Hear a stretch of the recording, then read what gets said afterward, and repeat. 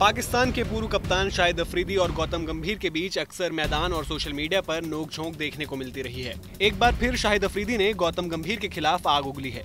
अफरीदी ने अपनी autobiography game changer में गौतम गंभीर को एक औसत दर्जे का बड़बोला खिलाड़ी बताया है। अफरीदी के मुताबिक गौतम गंभीर के नाम कोई भी बड़ा रिकॉर्ड नहीं है, लेकिन वो खुद को डॉन ब्रेडमैन और जेम्स बॉन्ड समझते हैं। गंभीर के व्यवहार में ही समस्या है। उसका कोई व्यक्तित्व नहीं है। उसके कोई बड़े रिकॉर्ड नहीं है, बस नखरेबाजी है।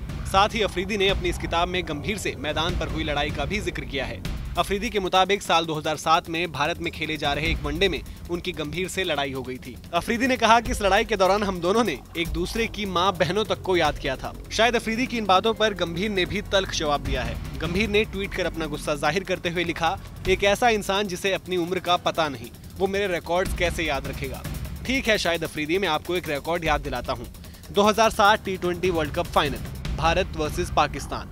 Gautam Gambhir चौवन गेंद पर पिचहत्तर रन और शाहिद अफरीदी बिना खाता खोले आउट सबसे ज़रूरी बात, हमने खिताब जीता था और हाँ मैं झूठे, गद्दारों और मौका परस लोगों के लिए एटीट्यूड रखता हूँ। ब्यूरो रिपोर्ट, स्पोर्ट्स तक।